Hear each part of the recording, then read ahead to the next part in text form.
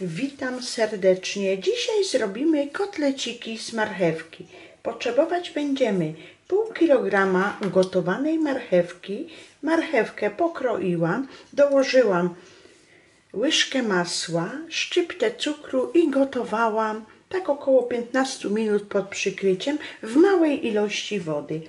I tutaj mam 25 deko twarogu, dwa jajka, trzy łyżki cukru, szczyptę soli i szklankę mąki. I to wszystko ucieramy.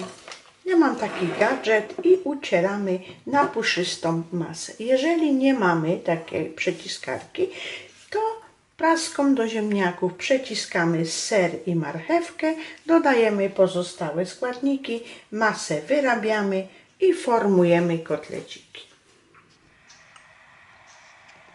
Masę już mamy przygotowaną. Będziemy formować kotleciki, obtaczać w bułce tartej i smażyć na rozgrzanym tłuszczu.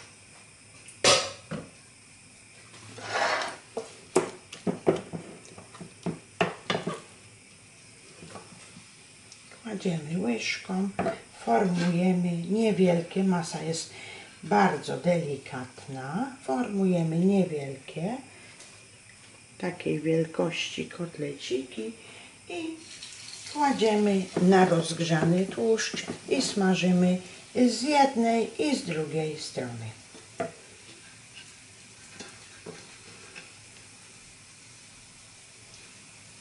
Możemy to kłaść też łyżką. Jeżeli mieliśmy problem, to kładziemy łyżką, tak jak ja, do bułki tartej, obtaczamy i dajemy na rozgrzany tłuszcz.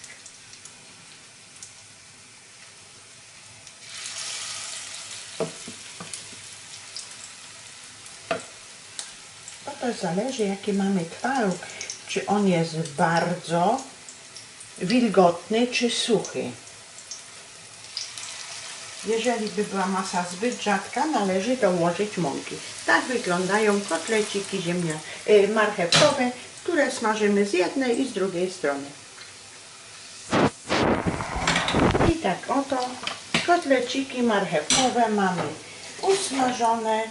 Zdejmujemy na ręcznik papierowy, aby się pozbyć nadmiaru tłuszczu.